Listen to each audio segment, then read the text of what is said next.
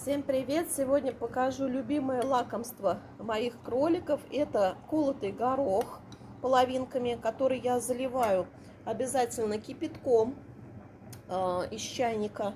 И хорошенечко, хорошенечко вот так вот мешаю, мешаю, мешаю, чтобы он стал мягким и чтобы не было никаких микробов, бактерий.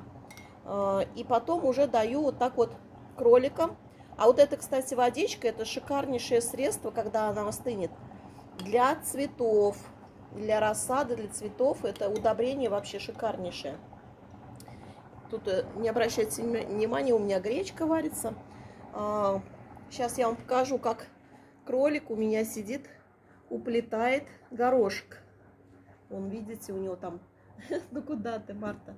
А, вон, видите, у него там горошек лежит. Я уже положила ложечку. И вот он сидит, жует. Сейчас прервался, видать, услышал, что я снимаю. Марта. Марта, ты, ты моя хорошая, ты моя сладкая, ты моя зайенька. Вот такая вот прелесть у меня. У меня там еще второй есть, Роджер. Тоже ему дала горошек. Вон, видите, он горошек кушал. Сейчас уже сидит, умывается. Надо водички ему долить. Угу. Ты мой сладкий, ты мой холёсий, зяенька моя. Ну, ты моя зяенька. Так что имейте в виду, у кого есть кролики, обязательно давайте вот такой горошек. Ну, я даю не часто, но все равно периодически даю. Также можно заваривать э, гречку, пшено, э, тоже, чтобы крупа стала мягкой, и вот без водички им давать.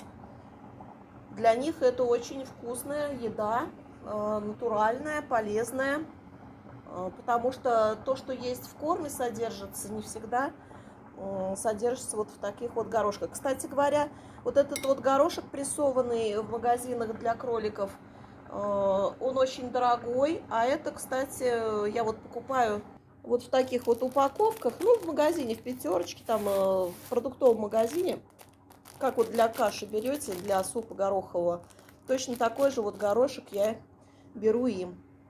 И вот так вот завариваю. Так что пользуйтесь таким способом. Кормите своих животных вкусно и полезно. Всем до встречи на моих видео. Всем пока.